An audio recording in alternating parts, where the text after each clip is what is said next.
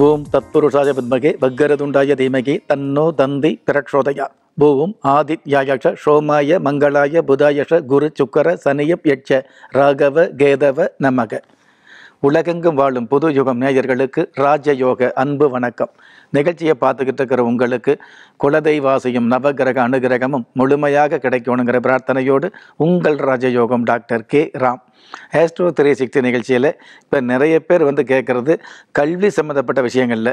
அதாவது இன்னை இன்னைக்கு இருக்கிற குழந்தைகள் வந்து பார்த்திங்க அப்படின்னா நாம் சொல்கிறத கேட்குறத விட அவங்க சொல்கிறத நாம் கேட்கக்கூடிய அளவுக்கு அவங்களுக்கு ஓரளவு அறிவு முதிர்ச்சி. அதாவது பின்னாடி வரக்கூடிய விஷயங்களை வந்து மிக சீக்கிரமே கற்றுக்கக்கூடிய மிக மிக விரைவாக தெரிஞ்சுக்கக்கூடிய ஒரு அட்வான்ஸ் நாலேஜ் இருக்குது அப்படிங்கிறத யதார்த்தம். அதனால தான் அந்த காலத்தில் டிகிரி அப்படிங்கிறது ஒரு கிராமத்தில் ஒருவர் அல்லது இருவர் தான் படிக்க முடிஞ்சுது. இன்றைக்கி வந்து பார்த்திங்கன்னா எல்லா குடும்பத்திலையுமே எல்லோருமே மேக்சிமம் டிகிரி படிக்கக்கூடிய மேல் படிப்பு படிக்கக்கூடிய ஒரு பாக்கியம் இருந்துகிட்டு இருக்குது அப்படிங்கிற விஷயத்தை நம்ம தெரிஞ்சுக்கலாம். நவக்கிரக ரீதியாக கடந்த காலங்களில் புதனும் சூரியனும் தள்ளி தள்ளி இருக்கிறதுனால உயர்கல்வி அப்படிங்கிறது தள்ளி போயிட்டே இருந்துகிட்டு இருந்தது ஒரு சில பேருக்கு மட்டும்தான் கிடைச்சதுங்கிறது உண்மை. ஆனால் இந்த இருபது வருஷமாக வந்து பார்த்தீங்க அப்படின்னா இந்த புதனும் சூரியனும் பெரும்பாலான ஜாதகத்தில் சேர்ந்து இருக்கிறதுனால அது புதாத்திய யோகம் அப்படிங்கிற அந்த வித்தைக்குண்டான கல்விக்குண்டான தகுதி இருக்கிறதுனால நிறைய பேர் வந்து இந்த உயர்கல்வி படிக்கக்கூடிய பாக்கியம் கிடைச்சிருது. நிறைய பேருக்கு அந்த பாக்கியத்துக்கு உண்டான பலன் கிடைக்குது அப்படிங்கிறது தான் யதார்த்தம். சரி இப்போ இந்த மாதிரியான கல்வி சம்பந்தப்பட்ட விஷயங்கள் வந்து பார்த்தீங்கன்னா நாளொரு மேனையும் பொழுதொரு வண்ணமும் தேவையில்லாத குழப்பங்கள் அல்லது தேவையான குழப்பங்கள் அல்லது எதிர்பார்த்த குழப்பங்கள் அல்ல அல்லது எதிர்பாராத குழப்பங்கள்னு கல்வி ரீதியான வகையில் நிலையான ஒரு நிலைப்பாடு எடுக்க முடியாத ஒரு குழப்பம் இருக்குதுங்கிறது தான் உண்மை. இதையும் தாண்டி அந்த கல்வி சம்பந்தப்பட்ட விஷயங்களில் கனமான ஒரு சாதனை பண்ணணும். கல்வி சம்மந்தப்பட்ட விஷயங்களில் நாம் கற்றுக்கிட்ட கல்வியில் வந்து தோல்வி இல்லாமல் நல்ல ஒரு மேன்மை கிடைக்கணும். எந்த கல்வி கற்றுக்கிறோமோ அந்த கல்வி சம்மந்தப்பட்ட உத்தியோகம் வெகு சீக்கிரமே அதாவது காலகாலத்தில் கிடைக்கணும். இந்த மாதிரியான விஷயங்களுக்கு ஏதாவது வழிபாடு இருக்குதா? அப்படிங்கிற விஷயத்தை தான் இன்றைய ஆஸ்ட்ரோ த்ரீ சிக்ஸ்டி நிகழ்ச்சியில் பார்க்க இருக்கிறோம் பொதுவாக கல்வி அப்படிங்கிறது நம்ம வந்து கையெடுத்து கடவுளை நமஸ்காரம் பண்ணுறது வழிபாடு பண்ணுறது பிரார்த்தனை பண்ணுறது விரதம் இருக்கிறது வேண்டுதல் வச்சுக்கிறது அப்படிங்கிறத விட அந்த கல்வி இருக்கக்கூடிய மாணவனுக்கே கல்வி மீது ஈடுபாடு அதாவது அக்கறை அப்படிங்கிறது கண்டிப்பாக இருக்கணும். படிப்பு அப்படிங்கிற விஷயத்தில் பிடிப்பு இருக்கிற ஒவ்வொரு மாணவனும் இந்த உலகத்தில் வந்து நல்லதொரு மதிப்போடு அல்லது சிறப்போடு வாழ முடியுங்கிற விஷயத்தை வருகிற காலத்தில் கல்வி கற்றுக்கிற காலத்தில் உங்களுக்கு புரியாமல் இருக்கலாம். ஆனால் அடுத்து வரக்கூடிய காலங்களில் உங்களுக்கு நிச்சயமாகவே புரியும்.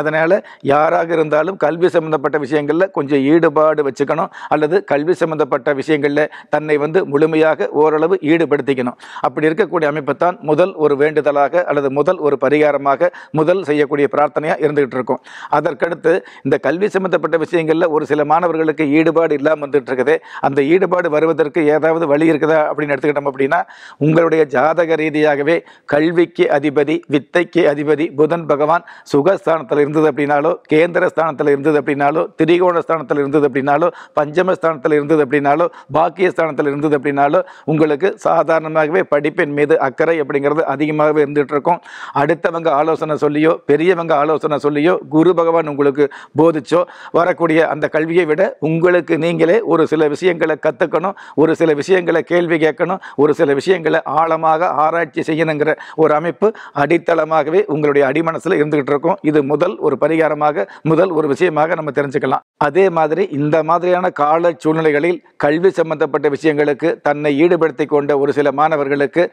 நல்ல முறையில் கல்வி கற்றுக்கிட்டு இருந்தால் கூட முக்கியமான தேர்வு நிலைகளில் வந்து இந்த மனப்பாடம் செய்த விஷயங்கள் வந்து நமக்கு வந்து மறந்து போகக்கூடிய சூழல் இருந்துகிட்டு இருக்கலாம்.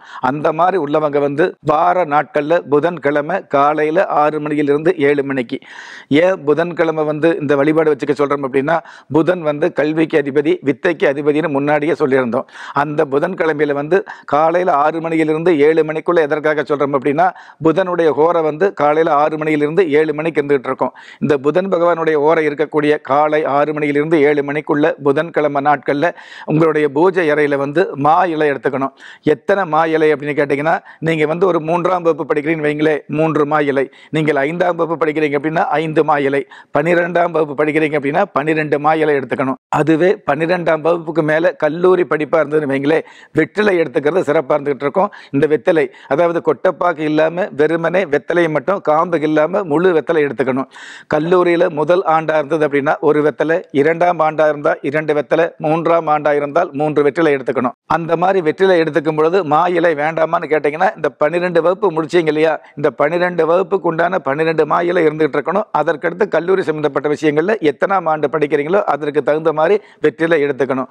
இந்த மாதிரி விஷயங்களை வந்து உங்களுடைய பூஜை அறையில் எடுத்து வச்சுட்டு உங்களுடைய பூஜை அறையில் வந்து நீங்கள் எந்த கல்வி படிச்சுக்கிட்டு இருக்கிறீங்களோ அல்லது ஏற்கனவே எந்த கல்வி படித்து முடிச்சீங்களோ அல்லது வந்து பொதுவாக சமுதாய சம்பந்தப்பட்ட பொது அறிவு சம்பந்தப்பட்ட விஷயங்களுக்கு உண்டான புத்தகம் இருந்தது அப்படின்னா அந்த புத்தகம். ஏற்கனவே படித்து முடித்த புத்தகத்தை பயன்படுத்தலாம். அல்லது இப்போ தற்சமயம் நீங்கள் படிச்சுட்டு இருக்கிற கல்வி சம்பந்தப்பட்ட விஷயங்களுக்கு உண்டான புத்தகத்தை வந்து பூஜை அறையில் வைக்கலாம். இந்த இரண்டுமே பயன்படுத்த முடியாத நிலையில் இருந்தால் கூட பொது அறிவு சம்பந்தப்பட்ட அந்த டிக்ஷனரி சம்பந்தப்பட்ட விஷயங்களை வந்து பூஜை அறையில் வச்சுக்கலாம். பூஜை அறையில் பிள்ளையார் அல்லது சரஸ்வதி அல்லது பெருமாள் படத்துக்கு முன்னாடி நீங்கள் படிக்க வேண்டிய கல்வி கற்றுக்கக்கூடிய அந்த புத்தகத்தை வச்சு அந்த புத்தகத்துக்கு முன்னாடி இந்த மா இலையை வச்சு கல்லூரி படிப்பாக இருந்தால் வெற்றிலையும் சேர்ந்து வச்சு இந்த மா இலை வெற்றிலை இதில் எல்லாமே வந்து பார்த்தீங்கன்னா கொஞ்சம் கொஞ்சம் கற்கண்டு வைக்கலாம். கற்கண்டு வாங்கும் பொழுது மொத்தமாகவே அதாவது ஒரு கால் கிலோ கற்கண்டு வாங்குறீங்கன்னு வைங்களே அந்த கற்கண்டு வந்து பன்னிரெண்டு மா இலையில் வைக்கும் பொழுது எந்த மாதிரி எடுத்து வைக்கலாம் அப்படின்னு கேட்டிங்கன்னா உங்களுடைய மூணு விரலில் அதாவது பெருவிரல் ஆள்காட்டி விரல் நடுவிரல். திரும்பவும் சொல்கிறேன் பெருவிரல் ஆள்காட்டி விரல் நடுவிரல். இந்த மூன்று விரலில் கற்கண்டு எடுக்கும்போது கொஞ்சமாக தான் வரும். அப்போது ஒரு முறை கற்கண்டு எடுத்து ஒரு மாயலையில் வைக்கிறோம். இன்னொரு முறை கற்கண்டு எடுத்து அந்த மாயலையில் வைக்கிறோம். இதே மாதிரி பன்னெண்டு மாயலையிலையும் கற்கண்டு வச்சுட்டு அதற்கப்புறம் அந்த வெற்றிலையில் வந்து கற்கண்டு இதே மாதிரி மூணு விரலில் கற்கண்டு எடுத்து வெற்றிலையில் வச்சுட்டு அந்த புதன் பகவானை நினைச்சு அதே மாதிரி இந்த சரஸ்வதி அல்லது பிள்ளையார் அல்லது உங்களுடைய குலதெய்வம் அல்லது பெருமாள் சம்பந்தப்பட்ட விஷயங்களை நினைச்சு நீங்க வந்து எந்த கல்வி கத்துக்கிறீங்களோ அந்த கல்வியில தடையோ இடையூறோ இல்லாமல் இருக்கணும். இந்த கல்வி கத்துக்கக்கூடிய மட்டுமல்ல கல்விக்கு தகுந்த நல்லதொரு உத்தியோகம் காலாகாலத்தில் அமையணுங்கிற விஷயத்தை வந்து ஒரு பிரார்த்தனையா புதன்கிழமை நாட்களில் புதன் ஹோரையில வச்சுக்கும் பொழுது சிறப்பாக இருந்துகிட்டு இருக்கும். அதற்கப்புறம் அந்த கற்கண்டு என்ன பண்ணலாம் அப்படின்னா அதே புதன்கிழமை மாலை மறுபடியும் கற்பூர ஆரத்தை காட்டிட்டு அந்த கற்பூரத்தை எடுத்து ஒரு சின்ன அகல் விளக்கில் போட்டு பூஜை அறையில் வச்சிடலாம். ஒவ்வொரு நாளும் நீங்கள் பள்ளிக்கோ கல்லூரிக்கோ செல்லும் பொழுது அந்த அகல் விளக்கு இருக்கக்கூடிய கற்கண்டுக்கு ஒரு நமஸ்காரம் வச்சுட்டு அந்த கற்கண்டு ஒரே ஒரு பீஸ் எடுத்து வாயில் போட்டு போகும் பொழுது அன்றைய நாள் உங்களுக்கு தடையில்லாத கல்வி அல்லது கற்றுக்கக்கூடிய கல்வி உங்களுக்கு பலன் தரக்கூடிய அமைப்பு. இந்த மாதிரியான பாக்கியங்கள் நிச்சயமாக கிடைக்குங்கிற விஷயத்தை இந்த நிகழ்ச்சியில் நம்ம வந்து இன்றைய ஆஸ்ட்ரோ த்ரீ சிக்ஸ்டி நிகழ்ச்சியில் நம்ம தெரிஞ்சுக்கிறோம்.